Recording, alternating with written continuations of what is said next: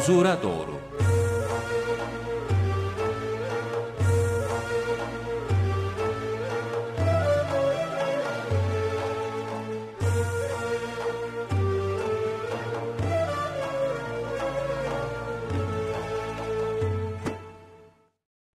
Değerli izleyenler yeni bir programla daha sizlerle birlikteyiz. Her zaman olduğu gibi Osman Ünlü hocamız var yanımızda. Yine kendisiyle sohbet edeceğiz ve sizlerin merak ettiği konulardan birini daha soracağız.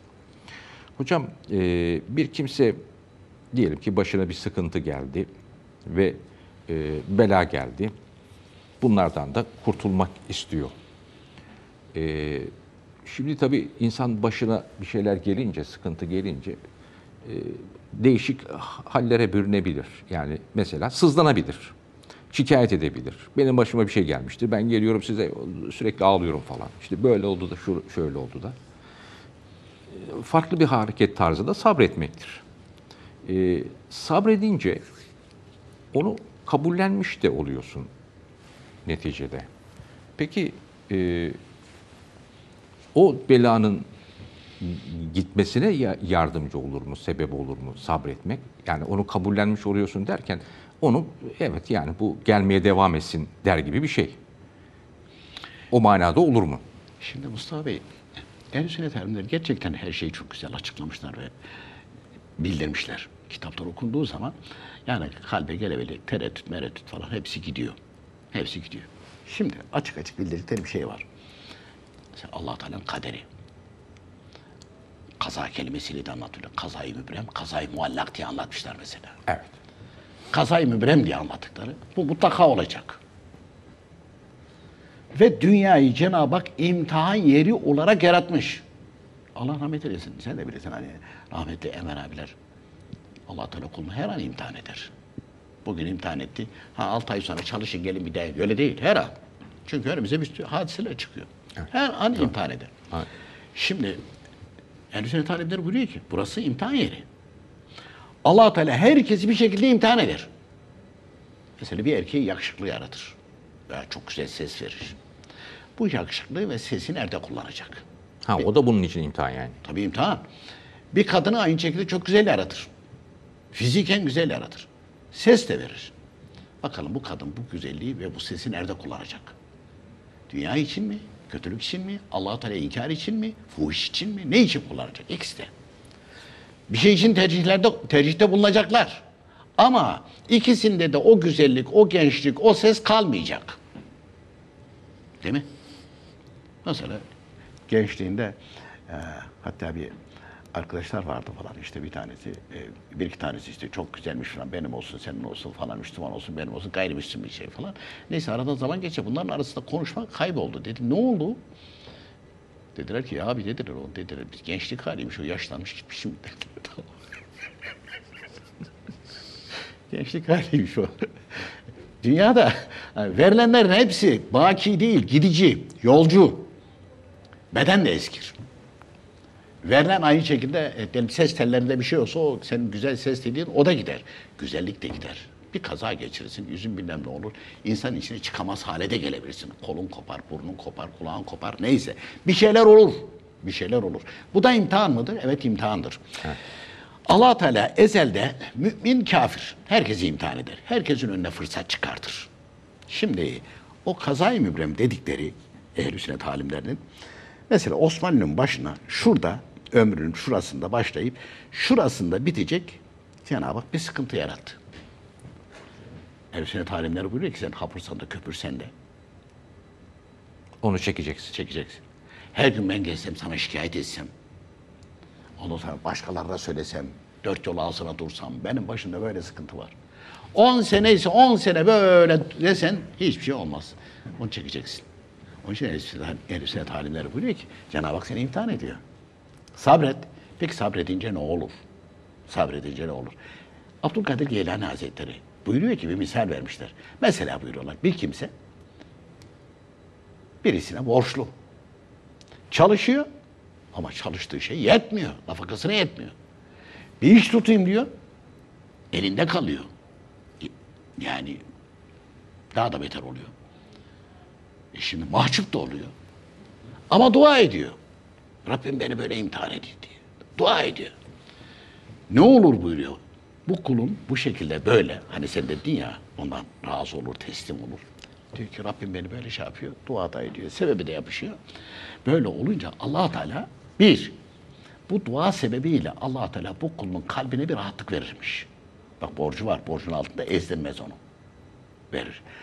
Bundan a, alacaklı olanların kalbine de şu düşünceyi getirirmiş Cenab-ı Hak. Ya Mustafa Kutluköz çalışıyor, didiniyor ama yetmiyor. Gelip aynı şekilde istemezler, sen rahatsız etmezlermiş. Sen o üç seneyi, beş seneyi öyle tamamlarmış. Sen o üç seneyi, beş Peki üç sene ise bağırsaydın ne olacaktı? Gene üç sene. Sabrettin, gene üç sene. Sabrettin, kazandın ama. Bağırsaydın aynı zamanda günaha da girmiş olacaksın. Günaha da girmiş. İsyana da düşmüş İsyanda olacaksın. edecek. E çünkü bir e, hadis-i şerifte sabreleyen beladan kurtulur buyurmuştur. Sabreyle beladan kurtulmuş. Şimdi Hazreti Ali'nin radıyallahu teala biz de GRT Efendi İslam ve Toplum programında sık sık aynı şekilde naklettiğimiz bir sözü var Hazreti Ali'nin radıyallahu anh. Bu zat buyuruyor ki ölümden kaçmak şu iki günde doğru olmaz. Ecel geldiği gün ve gelmediği gün. Abi bunu biliyordu. Biliyordu ama büyükler söyleyince insanın aklı başına geliyor. Ecel geldiği gün ve gelmediği gün. Ecel geldiyse kaçma fayda vermez. Gelmediyse zaten aynı şekilde Kaçsan da gerek- faydası yok. kaçsa- Korkunun ecele korkunun- faydası yok. Yok. Buyurmuşlardır. Dolayısıyla bağlanı mevkisini kaybettiği veya düşman eline esir düştüğü için intihar eden kendini öldürenlerde şecaat değil korkaklık vardır. Şecaat sahibi olan dertlere, belalara göğüs gerer, dayanır, sabreder. Ölümü tercih edenler ölmekle sıkıntıdan kurtulacaklarını sanırlar. Halbuki bunlar ölünce daha çok sıkıntılara, acılara düşeceklerini bilmiyorlar. Ve Abdülkadir Geylani Hazretleri buyuruyor ki halinizden şikayette bulunmayın. Sabredin, feryat etmeyin. Doğruluk üzere devam edin. İsteyin, istemekte bıkkınlık göstermeyin. Kimden isteyecek? allah Teala'dan. İçinde bulunduğunuz istenmeyen hallerden dolayı ümitsizliğe düşmeyin. Daima ümitli olun. Birbirinize düşman değil, kardeş olun. Birbirinize buğz etmeyin. Allahu Teala'ya rızası için yapılan sabırlar ve tahammüller asla karşılıksız kalmaz buyuruyor bu zat. Kalmaz. Onun için sabrediniz. Mutlaka senelerce bu sabrın mükafatını görürsünüz. Ömrü boyunca kahraman lakabıyla meşhur olan bu lakabı bir anlık cesaret neticesinde kazanmıştır. allah Teala Kur'an-ı Kerim'de Bakara Suresi 153. ayette mealen şüphesiz ki Allah sabredenlerle beraberdir buyuruyor. Eceli gelen hastanın ölümüne mani olamaz. Ancak ölüm hastasının istiğfar okuması, hastalığın vereceği acıları, ağrıları gidereceği kitaplarda yazılıdır. Ahmet bin Abdurrahman Hazretleri vefatından önce hastalanır kendisine halinin nasıl olduğu sorulunca dünyaya düşkün olanlar, dünya nimetlerinden lezzet aldıkları gibi salihler de allah Teala'dan gelen bela ve musibetlerden öyle lezzet alırlar buyurmuşlardır. Öyle lezzet alırlar buyurmuşlardır. Bir de hadisi kusi var. Ey Ademoğulları bir kimse benim kazama razı olmaz, benim gönderdiğim belalara sabretmezse, verdiğim nimetlere şükretmezse, benim aynı şekilde takdirime rıza göstermese, kulum olarak bulunmasın, karşıma çıkmasın nalim Benden başka Rab arasın. benden başka Rab arasın. Ya çok ağır bir ifade o. Ya çok ağır bir ifade. Dolayısıyla e, Cenab-ı Hak her birimizi, her birimizi değişik bir şekilde imtihan etmektedir. Bu imtihanlar, bu imtihanlarda e, hani e, şeyde TGRT FM ve Toplum programında zaman zaman din büyüklerinin sözlerini naklediyoruz ya.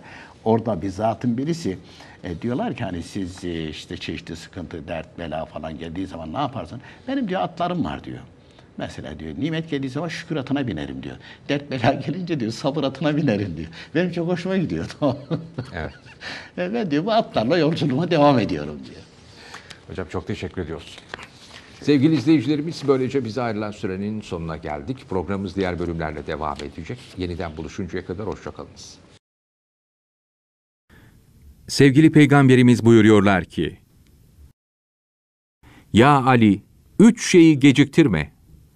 Namazı vakti girince hemen kıl, cenaze namazını hemen kıl, dul veya kızı küffü isteyince hemen ver.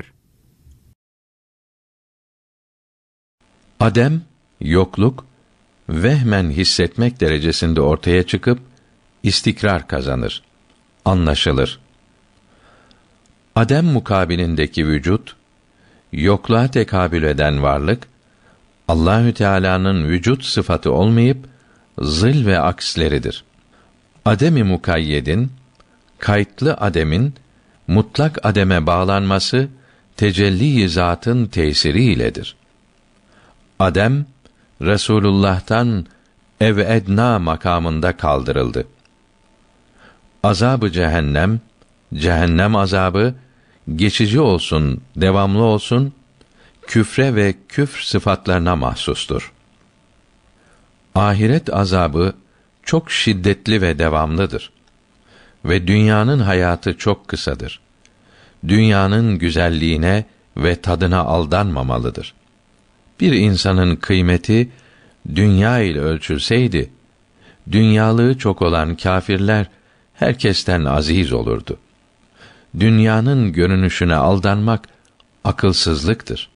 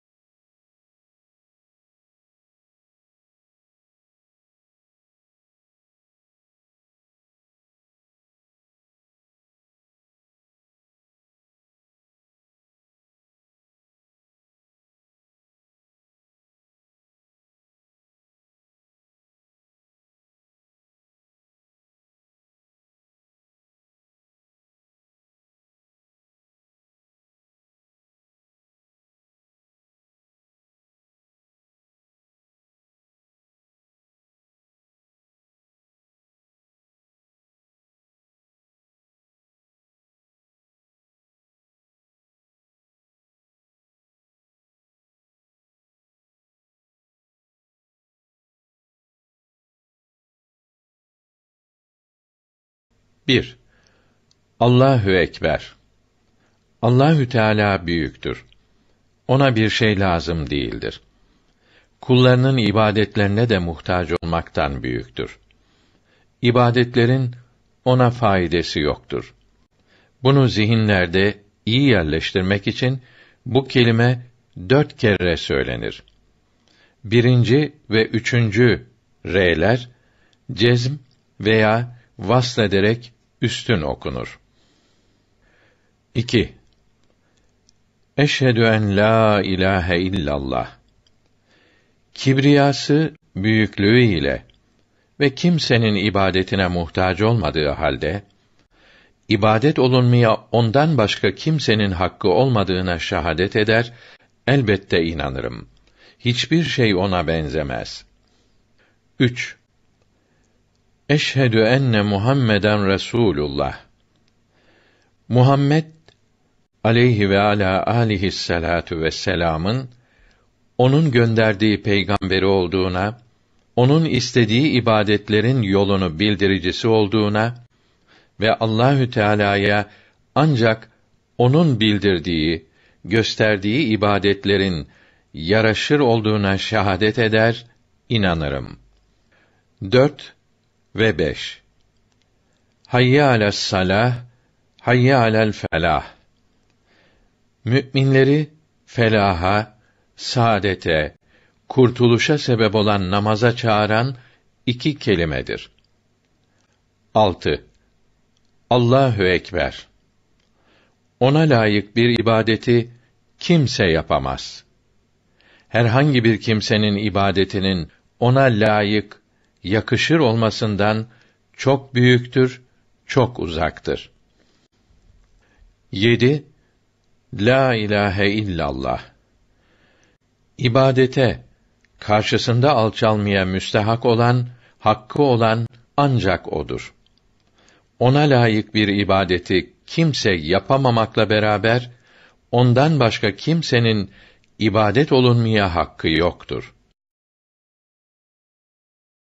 Ahmedi Bedevi Hazretleri Ahmet Bedevi Hazretleri evliyanın büyüklerindendir. Soyu Efendimiz Aleyhisselam'a dayanmaktadır. Tarihler 1200 yılını gösterirken Mısır'da dünyaya gelir. O, ailesinden gördüğü terbiye ve ailesinin ilim konusundaki teşviklerini elbette boş çıkarmaz. Küçük yaşında Kur'an-ı Kerim ezberler. O, ilmiyle, haliyle pek büyük bir ilerleme kaydeder ve şöhreti elbette yayılır birçok diyara. Mısır sultanı ona pek hürmet eder. Nasihatlerini dinler. O, sultana merhamet, adalet, Allah korkusu konusundaki nasihatleriyle milyonlarca insanın dünya rahatı ve ahiret saadetine kavuşmasına sebep olur. O, bedeniyle halk içinde, gönlü ise hakla birliktedir. Hep onun zikriyle meşguldür. Onun yoluna hizmet eder. Cenab-ı Hakk'a kavuşmak isteyenler kapısında sıra sıra dizilir. Ahmedi Bedevi Hazretleri zamanla herkes tarafından tanınır. Her tarafta meşhur olur. Hak aşıkları her taraftan yanına koşarak huzuru ve sohbetiyle şereflenmek için can atarlar. Tanınan, büyük bilinen alimler bile gelip kendisine talebe olurlar. O, yüzünde hep bir örtüyle dolaşır ki bu sırrı Allahu Teala'dan ve kendisinden başkası bilemez. Ve elbette Cenab-ı Hakk'ın bildirdiği diğer hak dostlarından başka. Cenab-ı Hakk'ın muhabbetiyle kora dönen gözler ve nice esrarların saklı olduğu yüzündeki perdenin ardındaki simayı bir müridi yıllarca pek merak eder ve bunun aşkıyla yanar. Ve bir gün dayanamaz ve hocasının yüzünü görmeye arzu ettiğini kendisine arz eder. Hocası, sen yüzümü görmeye takat getiremezsin deyince talebesi, sonucuna razıyım der. Ahmet Bedevi Hazretleri yüzündeki peçeyi kaldırınca talebesi, kim bilir ne güzelliklerin ve esrarların olduğu yüzünü görünce dayanamaz ve aşkı ilahiyle oracıkta vefat eder. Dini İslam'a hizmetle insanların iki cihan saadetine kavuşmasına çalışmakla geçen ömrü 1276 yılında nihayet bulur büyük evliyanın. İsmi kıyamete kadar rahmetle anılan, feyze devam eden bir gönül sultanı olan Ahmet Bedevi Hazretleri buyurdular ki, Tövbenin hakikati, geçmiş günahlara pişman olmak, gelecekte olacağı istiğfar etmek, affını istemektir. İşlenen günaha tamamen pişman olmak, bir daha o günahı işlememeye canu gönülden azmetmek ve bu çeşit bir tövbeyle kalbi temizlemekten ibarettir. Sadık o kimsedir ki Allahu Teala'nın hükmünden razı olduktan sonra Allahu Teala'nın emirlerini yerine getirip Resulullah Efendimizin sünnet-i seniyyesine uyan, başkasından bir şey istemeyip verilirse şükreden, verilmezse sabreden kimsedir. Dünya sevgisinden sakının. Zira sirke saf balı bozduğu gibi dünya sevgisi de salih ve iyi amelleri bozar. yetimlere şefkat, çıplaklara elbise giydirmekle merhamet, açları doyurmakla himaye, garipleri, zayıfları ikramla korumak öyle güzel amellerdir ki bunlar Allahu Teala katında kaybolmaz. Abdesti temiz yerde almak lazımdır. Resulullah sallallahu aleyhi ve sellem abdest almak istediğiniz vakit abdest bozduğunuz yerde abdest almayınız. Çünkü abdest suyunun her bir damlasına bir yıllık nafile namaz sevabı veriliyor. Ve abdest bozduğunuz yerde yani helada abdest alırsanız çok vesveseli olursunuz. Ve abdeste besmele ile başlayan kimse için kiramen katibin melekleri abdest bitinceye kadar sevap yazarlar buyurdu.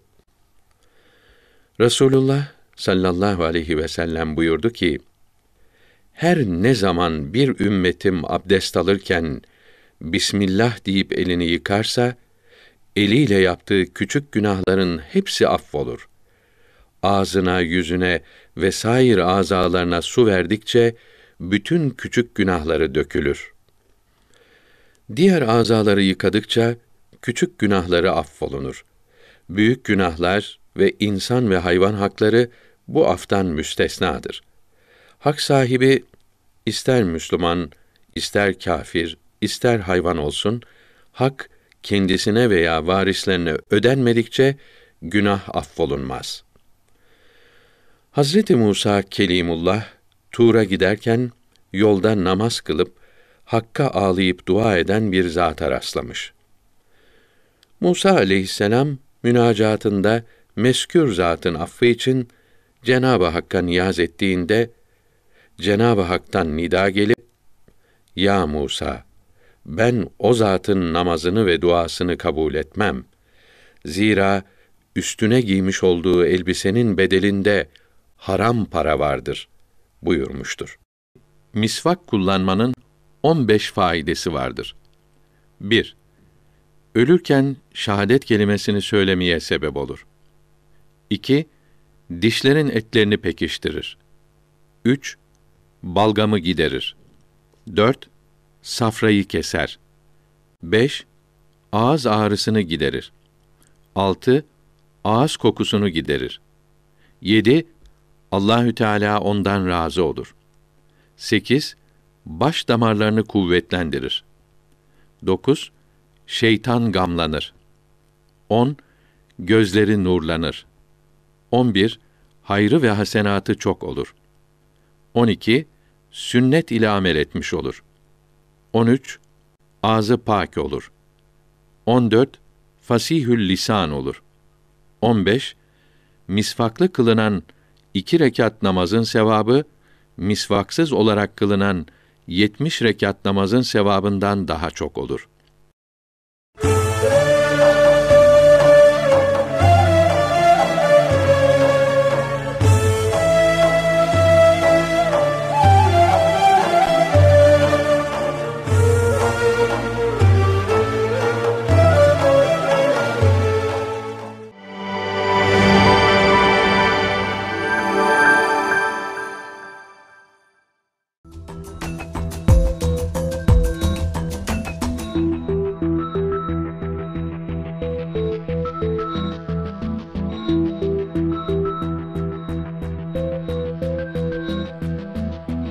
Merhaba kıymetli seyircilerim.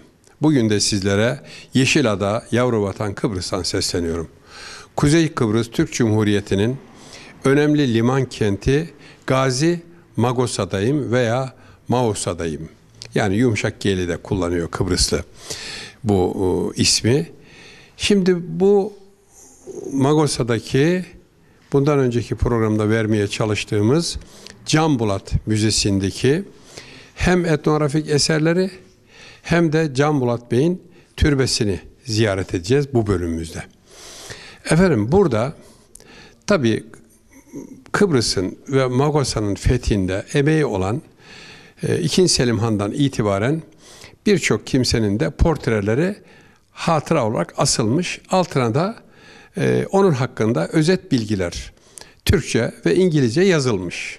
Dolayısıyla gelen burayı rahatça e, gezebilir, okuyabilir, bilgiler de alabilir. Şimdi burada muhafaza ediliyor ki başına bir iş gelmesin diye Kutup Osman olarak meşhur olan İsmail Hakkı Bursevi Hazretleri'nin e, hocası İsmail Hakkı Bursevi Hazretleri'nin hocası Osman Fazli Atpazari Hazretleri nin tekkesinde onun zamanında yazılmış olan bir levha var. Bu levha ahşap üzerine yazılmıştır. Yani nahatlık örneğidir bu. Çok önemli de bir nahatlık örneği. Yani gönül ister ki bunun merakları gelsinler. Bu büyük levhaya bu yazı hadi üzerine yazdı, şablon yaptı, kurşun kalemle işaretleri, harfleri yaptı ama bunun oyulması apayrı bir şey. Bunu yapan kimse Feyzi Dede, Celveti tarikatının eee şeyhlerinden birisi. Osman Fazlı Atpazarı Hazretlerinin büyük bir ihtimal talebelerindendi. Çünkü o da Hüdayi tarikatının Celveti kolundandı Osman Fazlı Hazretleri. Ta Balkanlardan gelirken öyleydi. Balkanlarda Hüdayi yolu Edirne'de dahil İstanbul'a kadar birçok yerde gerçekten yayılmış idi. Zaten Aziz Mahmut Hazretleri 1. Sultan Ahmet Han zamanında yaşamış, ona hocalık etmiş, Sultanahmet Camii'nin temel atma töreninde bulunmuş. Efendim Üsküdar'dan e, karşıya sık sık kayıklarla geçip fırtınalı havada geçerek Hüdayi yolu denilen e, hal sahibi insanların ancak bilebileceği etrafta dalgalar kudurmuşçasına patlarken o ılıman bir asude denizde giderek gelerek böyle o yolu meşhur etmiş bir kimse idi Aziz Mahmut Hüdayi Hazretleri. Bugün de türbesi Üsküdar'da kendi adıyla anılan semttedir. Çok bol da ziyaretçisi vardır. İşte levha burada.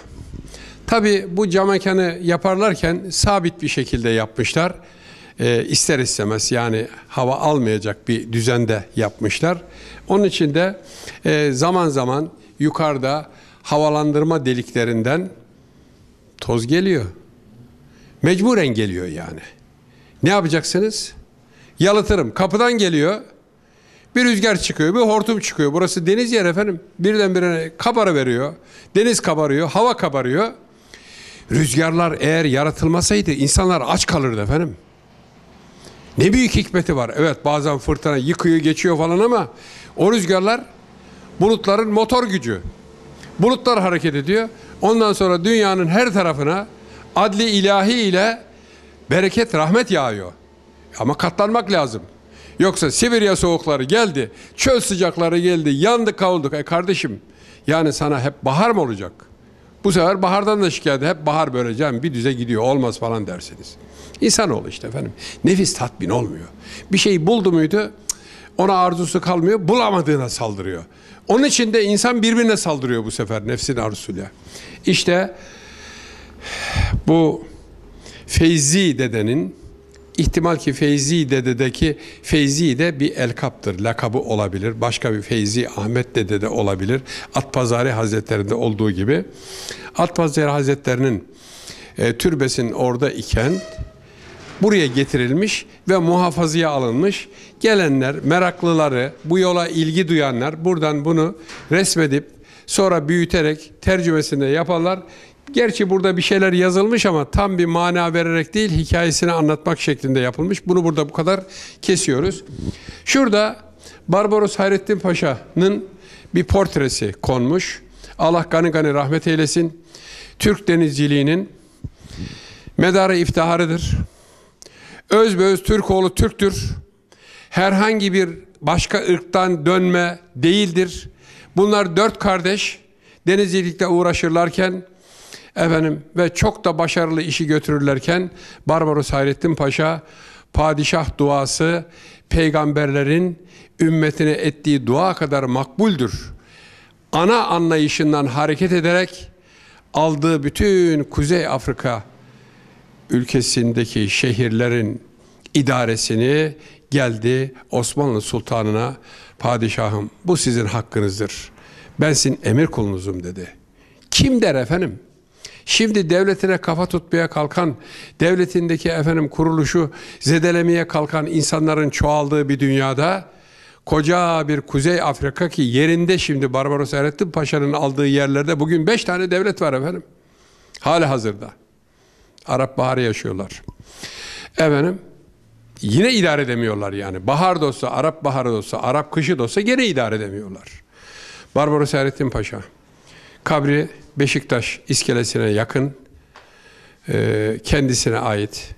Hatta vefatından önce kendinin yaptırdığı rivayet edilen türbesindedir. Allah rahmet eylesin. Biz de bu vesileyle kendisini anmış olduk. Preveze zaferini kazandıktan sonra Akdeniz Türk gölü haline geldi. Şimdi kıta sahanlığı, kara suları korkusuyla kıyılarımızdan 12 mil mi olsun, 6 mil mi olsun diye Yunan adalarının arasından sıyrıla sıyrıla geçiyoruz.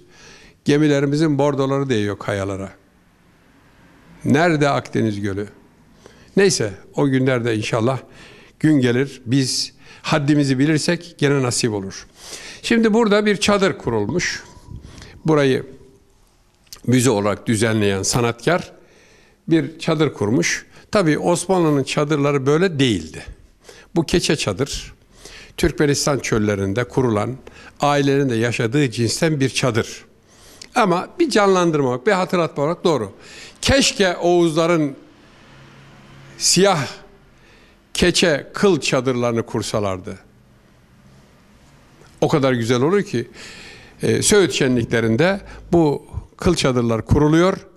Efendim yazın sıcakta insanları boğmuyor. Gayet klima var gibi. Dönüp bakıyorsun burada klima mı var diye. Yağmur yağdığında da o kıllar gerildiği için birbirine o kadar girift bir hale geliyor ki bir damla su geçmiyor içeriye. Yani başka bir eterit falan koysanız vida deliğinden geçer ama ondan geçmiyor. Geçelim bu çadırı da şimdi böylece direkt olarak. Çok içerisine fazla bir canlandırma yapılmamış. Arka tarafa gidiyoruz efendim. Can Bolat Bey'in at üzerinde bir maskı yapılmış buraya. Tam bir heykel gibi değil de maskı yapılmış. Bu maskın bulunduğu yerde Burcun servis kapısı yani o günün ifadesiyle koltuk kapısı vardı. Buna koltuk kapısıdır efendim. Ana protokol kapılarının dışında sadece özel görevlilerin açıp girdiği veya çıktığı kapılara koltuk kapısı denirdi. Topkapı Sarayı'nda da ona yakın böyle surlarında koltuk kapıları vardır.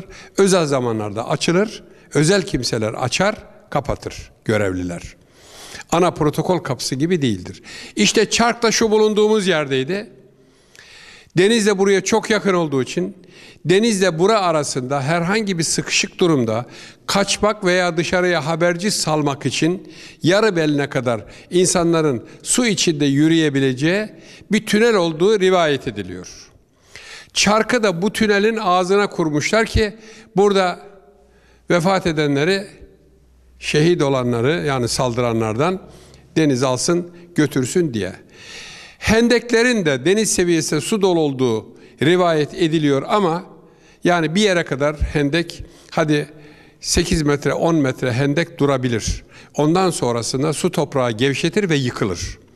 Oraya da karşı tarafına yani kara tarafına, sur tarafına değil de hendeklerin bir iksa duvarı yapılması lazım. Öyle bir duvarda görünmüyor. Yani bir tarafı toprak, bir tarafı kale bedeni, arada hendekler var. Zaten o zaman da o hendeklerde sular varmış. Osmanlı askerleri o hendekleri aşabilmek için sağdan soldan bulabildikleri bugünkü Osmanlı Türk mezarının orada bulabildikleri ağaçlık alanlar varmış. Ağaçları kesip getirirler, atarlarmış. Ki üstünden yürüyerek geçsinler. Venedik askerleri de bakarlarmış böyle efendim tilkinin ava baktığı gibi Osmanlı askeri oradan uzaklaştı mıydı? Hemen o odunları kaçırırlar. Burçlarda herhangi gedikler varsa oralarda sanki taş varmış gibi bir görüntü vererek oraları doldururlarmış. Belki de yakma da olurdu efendim. Yemek pişirmeyi alırlardı bilemem ki. Ama boşaltırlarmış hendeyi yani. Ve ihtiyaca binaen boşaltırlarmış. Aman saldırmasınlar diye alıp da bir tarafa atmazlarmış. İşte Can Bulat Bey rahmetli buradan çarka kapılıyor ve onlar daha e, cesedini denize atamadan arkasından gelen dalga beylerinin komutanlarının daldığını görünce onlar da dalıyor. Çark da iflas ediyor. Cesetler de burada. Can Bulat Bey de şehit olduğu yere arkadaşları adına buraya defnedilmiş. Buraya bir şiir yazmışlar. Ee, bir kısmını okuyun müsaade ederseniz o günü hatırlattığı için. Sürdü atını dolu dizgin uçarcasına. Ölüm çarkına Ümera'dan Can Bolat Bey. Kılıncı daireler çizerken narası hisarlarda yankılı yumulup ölüm dolabına çarkını kırdı Venedik'in gibi böyle hamasi e, güzel şeyler yazmış. Tabii bugünün şiir üslubuyla yazmış. Gönül isterdi ki Osmanlı zamanında geçerli bir şiir ve nazım üslubu kullanılsaydı daha hamasi olurdu. Hiç olmasa Yahya Kemal'inkilere benzer bir şeyler olmalıydı. Belki de Yahya Kemal'in vardır ama biz onları unutmuşuz. Şimdi burada Can Bulat Bey'in kabrinin başındayız. Kabrinin başucuna tabi burası deniz memleketi olduğu için Barbaros Hayrettin Paşa'nın bayrağının donanmada kullandığı donanma komutanlığı bayrağının Topkapı Sarayı'ndaki aslına uygun bir takliti yapılmış buraya asılmış. Ama aynı. Bu bayrakta dikkat edilirse Hulefai Raşid'in isimleri yazıyor. Hazreti Ebu Bekir radıyallahu anh, Hazreti Ömer radıyallahu anh, her köşede bir tane, Osman radıyallahu anh, Ali radıyallahu anh. Başında da La ilahe illallah Muhammedin Resulullah yazıyor. Altında bir altı köşeli yıldız var. Birçok seyircim soruyor. Ya bu altı köşeli işte Yahudilerin hocam bu niye böyle falan. İşte buyurun Barbaros Hayrettin Paşa'nın bayrağında da altı köşeli yıldız var. Davut mührü, Davut yıldızı diyorlar. Davud Aleyhisselam yıldız diyorlar. İsrail 1948'de kuruldu efendim. Barbaros Hayrettin Paşa 1500'lü yıllarda 1530'larda yaşadı. Yani hangisi eski? O zaman İsrail ferah bir kopya çekmiş efendim. Ama yakalanıyor. Selçuklu'nun 1100'lü 1200'lü yıllarda yaptığı kılıçların kabzasında bu altı köşeli yıldız var. Sakın bazı seyircilerimiz gidiyorlar bir camide böyle kıble tarafında altı köşeli yıldız olunca biri de uyduruyor bu camide namaz kılınmaz diye. Niye? Yahudi işareti var. Yahudi kendisini İsrail devleti daha böyle bir e, köklü bir devletiz biz. Yani çok evvellerden Davud Aleyhisselam zamanından gelen bir ümmetiz biz dercesine o yıldızı almışlar. Alır, Rusya'da alsa alırdı, Amerika'da alsa alırdı bunu. O demek değildir ki onların herkes beğendiği sembolü, beğendiği mühür alır. Efendim Can Bolat Bey, kilisi kuran kahraman Can Bolat'ın sülalesindendir. Ve Yavuz Sultan Selim Han'ın Mısır seferine 1516-1517'de giderken 1516'daki Merci Dabık zaferinden sonraki kilise çok yakın bir yerde oldu bu savaş. Halen kilisin bir köyü. Ve enteresandır. Koca savaş kilisin bir köyünde bir tek saç levha bir de ilkokulun bahçesinde bir şey var efendim. Yavuz Sultan Selim Han'ın büstü var. Koca Mercidabık böyle mi hatırlatılır efendim? Bakınız ne güzel Kıbrıslılar buraya etnografya müzesiyle neler neler koymuşlar efendim. Can Bulat Bey Küçüklüğünde sarayda eğitim aldı efendim. Bu kilisi kuran Can Bulat Bey'in ahfadından, torunlarından, oğlu da değil torunlarından sarayda eğitim aldı. Devletine çok bağlıydı. Kilis Beyliği verildi. Dedesinin kurduğu şehir ya efendim. Hadi sen Kilis'in Sancak Bey ol dediler. Halep bölgesine gönderildi. Halep ile Kilis'in arası 60 kilometreden biraz fazla 70 kilometre. O bölgede öyle bir eşkıya çete türemiş ki şimdi şehirlerde de türüyor ya efendim. Kapkaç çetesinden tut da bilmem senet mafyasına kadar. O zaman dağlardaymış gene çeteler hiç olmasa. İnsanlar utanırlar şehir için çetelik yapmazlarmış. Onları halk baş edememiş. Artık Halep boşalmaya başlamış. Can Bulat Bey bu rahmetli efendim gidiyor. Ne kadar harabi varsa kökünü kazıyor. Yıllarca Halep rahat ve huzur yüzü görüyor. Allah rahmet eylesin. İşte Magosa'da da Cenab-ı Hak bu güzel huyları uğruna kendisine şehitlik nasip etmiş efendim. Biz şimdi bunları anlatsak, anlatsak, anlatsak yaptıkları iyilikleri biz dile getiremeyiz ki. Cenab-ı Hak onun ecrini ahirette vermiştir, veriyordur efendim. Süremizin sonuna geldik. Hoşça kalınız.